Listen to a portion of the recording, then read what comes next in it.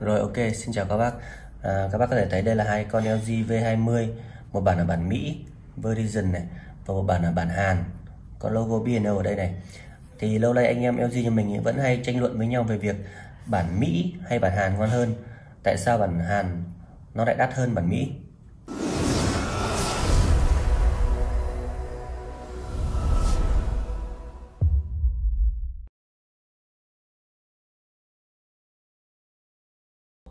Rồi trước tiên về mặt hoàn thiện ý, thì mình cũng đã kiểm tra kỹ hai con này rồi. Hai con này vẫn là nguyên zin nhé đây để em tháo ra cho các bác xem. Đây hai máy này em đều lấy ở chỗ Dũng Sky nhé để mà ừ, so sánh cho các bác. À, các bác có thể thấy đây này. À, ốc này. Đây này. Đây là bản Mỹ nhé ốc của nó vẫn còn uh, chưa có vết xước gì nhé Đấy, còn nguyên cái miếng siêu trên màn ờ, trên trên cái camera này. Đấy. rồi đây là tem của nó này. Đây đây là tem của máy Mỹ nhé rồi ok em mở con máy Hàn ra luôn.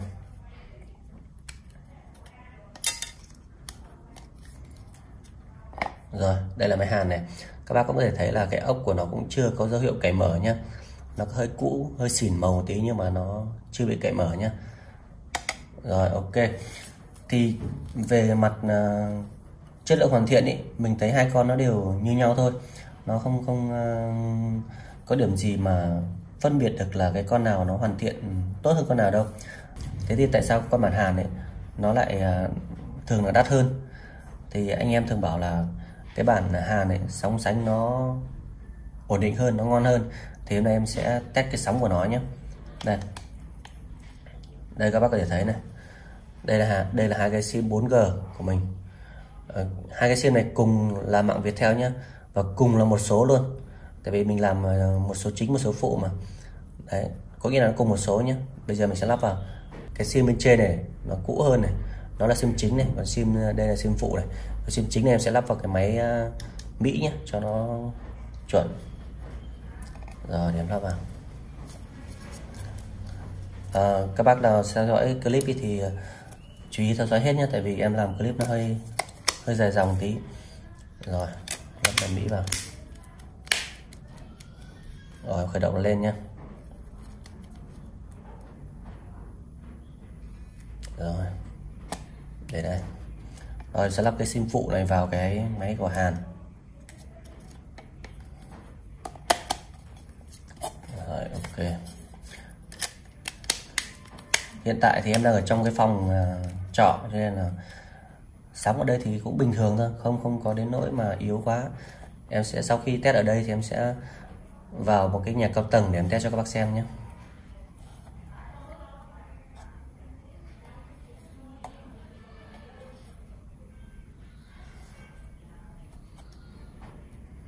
Rồi, các bác chờ tí cho nó khởi động lên nữa nhé. Rồi, cái bản Mỹ nó đã khởi động xong rồi đây này. Và nó có thông báo là thẻ sim này không phải của Verizon này. Thì cái này cũng không không quan trọng đâu. Các bác cứ xóa nó đi thôi.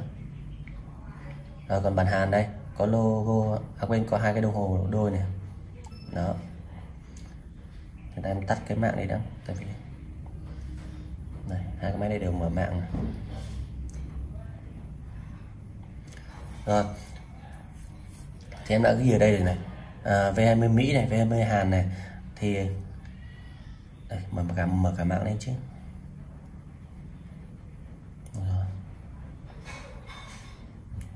Lâu rồi không dùng V20 các bạn nó hơi bỡ ngỡ. Rồi ok trước tiên em em sẽ kiểm tra là cái chế độ mạng nó đang để để ở chế độ chế độ nào nhé. Thì cái thì con ờ, V20 Hàn ấy thì có thể dùng lệnh được. Đây này. 5457 thăng sao 800 thăng đó. Thế đây em sẽ để ở chế độ tự động nhé. Hôm nay hơi khản tiếng các bạn. Em để chế độ tự động rồi này. Và bản Mỹ thì nó không kiểm tra được bằng lệnh này đâu. Nó không chuyển được bằng lệnh này đâu. 57 thăng sao 995 đấy, đấy nó không dùng được cái lệnh này đâu. Cho nên các bác phải vào trong cài đặt. Các bác mới cài đặt được. Đây. Thì em sẽ để chế độ là toàn cầu này. Chế độ toàn cầu ấy nó sẽ là chế độ mạng auto đấy. Rồi ok. Thì bây giờ hai bên đều là auto phân tích nhé. Và nó có thể hiện là bên này cũng là LTE này bên này cũng là LTE này. Đấy, các bác có thể nhìn thấy là cái sóng của hai cái cái cột sóng của nó ấy, cái bên cột sóng của bản Mỹ đây này nó có những năm vạch cơ. Còn cái vạch của bản Hàn này này, nó chỉ có bốn vạch thôi.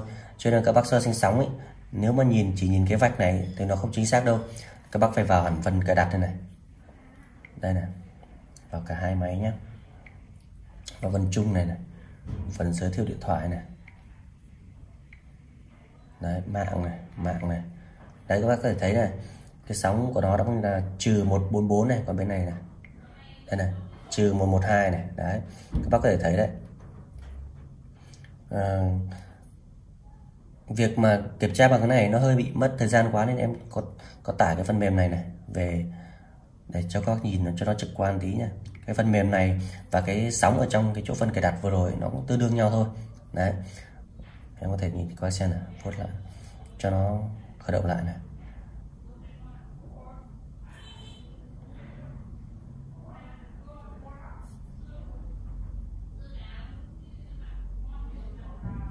Đấy. Đây nhá ở chế độ tự động này em uh, refresh nó lại nhiều lần cho nó chuẩn này.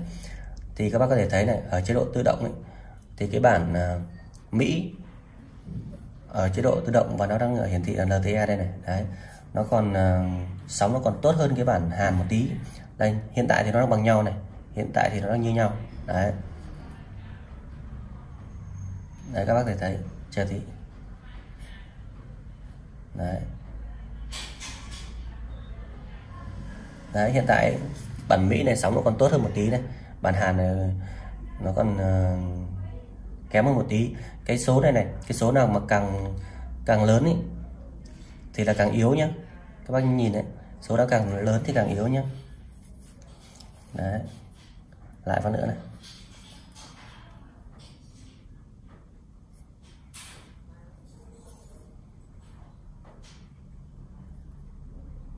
Đấy, hiện tại ở chế độ tự động nhé thì nó còn yếu. Bây giờ em sẽ chuyển sang chế độ chỉ 2G thôi nhé đấy. cái này dùng lệnh cho nhanh này.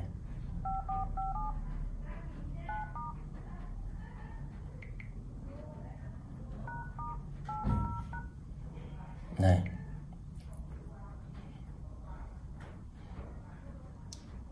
chỉ 2G này, cái phần có bản Mỹ này phải vào cài đặt mới mới chuyển được mạng di động này. Chọn chế độ này. Chọn cái này mới được này. Đây, em sẽ chọn cái à, chỉ 2G nhé em only này. Này, chờ tí các bác, chờ tí. Đây này, các bác có thể thấy là bên bản Mỹ nó hiển hiển thị chữ E này. Có bên bên bản Hàn nó hiển thị chữ G này. Rồi, em sẽ mở hai phần mềm này lên làm mới nó đi. Đấy các bác có thể thấy này ở cái ờ, chế độ mà 2G ấy, thì cái ờ, bản Hàn nó lại ngon hơn. Đây các bác thấy này bản Hàn có 79 cái này có 83 này. Đấy, làm lại mới mấy lần đi. Đó.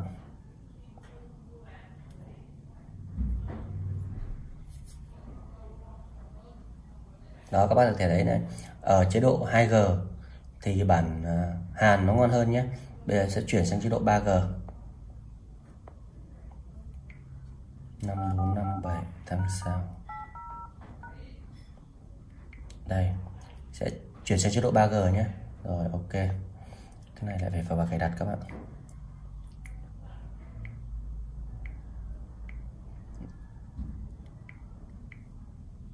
Đây sẽ chuyển sang chế độ 3G này cái thằng cuối cùng này. Rồi. Đây các bác có thể thấy này bản Mỹ nó hiển thị chữ H này và bản Hàn ấy, nó hiển thị chữ 3G này. Đấy. nhìn sơ qua thì sóng của bản Mỹ nó đang là rất là ít này. Em sẽ kiểm tra cái cường độ sóng nhé. Đó. Đây là mới nó này.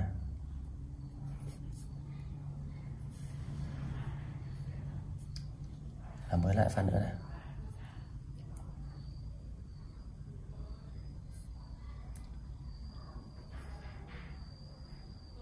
Đấy, ở cái chế độ 3G ấy, thì cái bản hàn ấy, nó vẫn, sóng nó vẫn mạnh hơn một tí nhé. Đây này. Lại phát nữa cho bác xem này.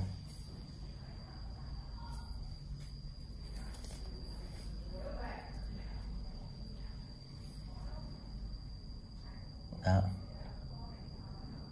các bác có thể là nhìn cái thông số ở dưới này nữa này. Những cái thông số này em cũng chưa hiểu lắm nhưng mà em chỉ để quan tâm cái trong số trên này này. Đấy có lúc thì nó mạnh có lúc nó yếu này. Đấy bây giờ bây giờ thì cái ở đây này nó đã nhảy nó lại nhảy về ngon hơn rồi. Đấy ok. Về cái ờ, 3G ấy, thì thấy như là nó cũng tương đương nhau thôi. Có lúc thì bản hàn nó mạnh hơn có lúc thì bằng thì nói chung là ở cái chế độ 3G ấy thì bản hàn nó vẫn ngon hơn một tí. Rồi em sẽ chuyển sang chế độ chỉ 4G thôi.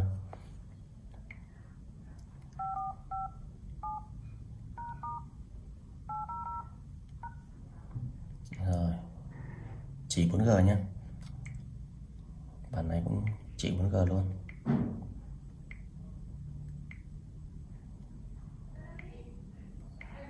Đây này đó.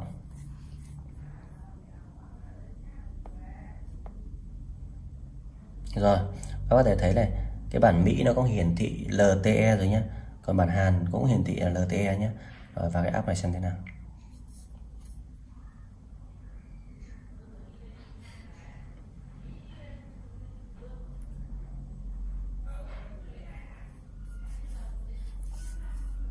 Đó, thì cái này cũng như thể cái cái lúc đầu mà chỉ để, để ở chế độ tự động thôi.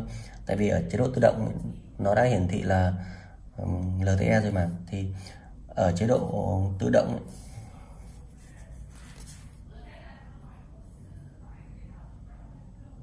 đó thì ở chế độ 4G này nó cũng tương đương nhau thôi. Thì từ nãy giờ ở trong phòng trọ ấy ở trong phòng trọ nhé cái chỗ này à, cái điện địa điểm này nó khá là thoáng mát cho nên là nó cũng không không có bị uh, giới hạn về sóng mấy. À, thì thì thì hiện tại như vậy thì em thấy là ở chế độ 2G thì cái bản à, Hàn nó ngon hơn. Còn ở chế độ 3G hay 4G thì nó cũng xem xem nhau thôi. Đấy, tí nữa em sẽ vào một cái nơi mà nhà cao tầng xem à, xem nó thế nào nha các bác nhé. Rồi ok. Các bác chờ.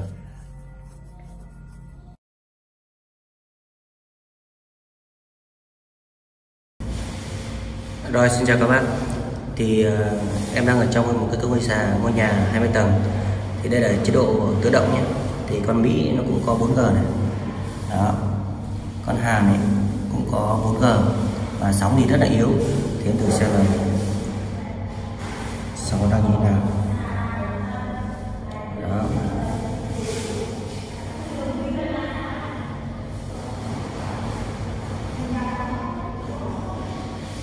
Đó, các bác có thể sóng 4G ở đây ấy, thì hai con này cũng tương đương nhau thôi. Con Mỹ có vẻ nhìn hơn một tí. Lại phần nữa xem nào.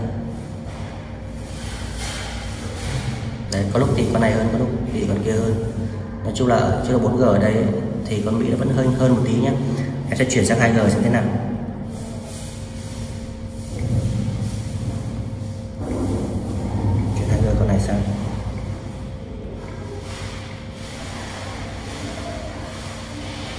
Rồi sang 2G rồi. Chuyển con hàng sang 2G nữa.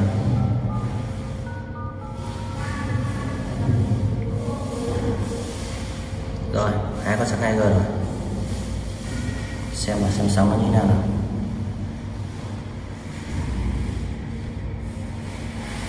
Đó. À, ô, bản Mỹ mất sóng luôn các bạn. Đó, bản Mỹ mất sóng luôn bản Hàn thì còn còn sóng này. Đó thử kiểm tra bạn xem nào đó bản Mỹ thì chuyển sang 2G mất sóng luôn. Trong khi đó bản Hàn vẫn còn. Nó thông cảm nhé, họ đang thi công thì nó hơi hơi ổn thì đây.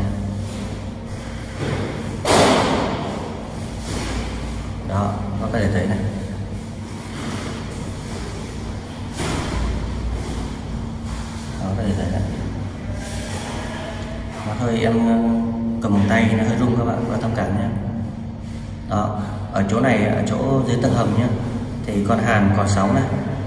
Còn bản Mỹ thì mất sóng luôn. Quay hơi rung các bạn. Rồi, giờ em sẽ chuyển sang 3G xem thế nào nhé.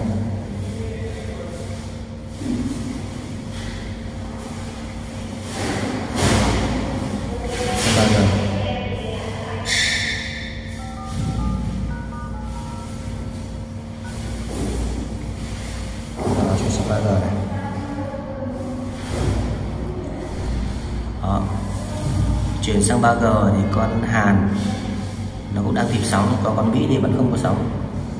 Con Hàn cũng không có sóng luôn. Sang chế độ 3G thì hai con đều không có sóng. Rồi, tiếp theo chuyển sang 4G nhé.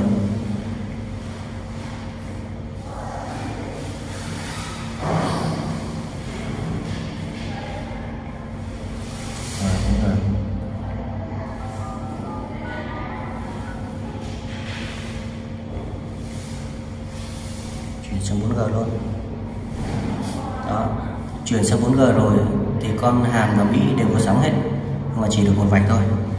Cách cái sóng nó như thế nào? À, cái này thì cũng test nãy rồi.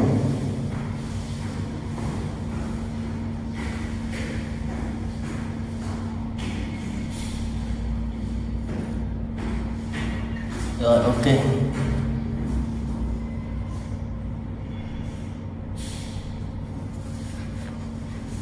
Đấy các bác có thể thấy là ở chế độ 4G thì có sóng nhưng mà sóng nó cũng tương đương nhau thôi.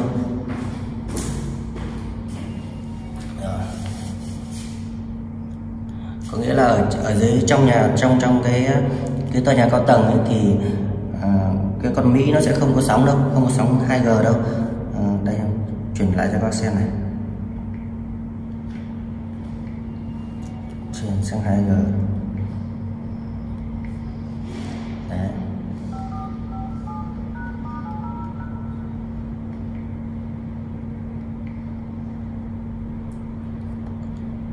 Đấy, tôi chờ tí. Chuyển sang 2G rồi nhé.